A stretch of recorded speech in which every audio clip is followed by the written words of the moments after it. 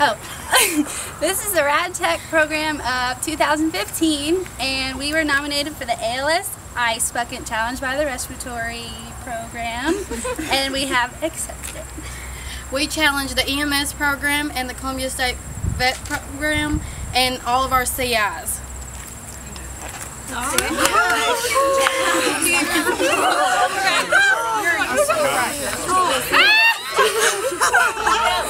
One, two, three.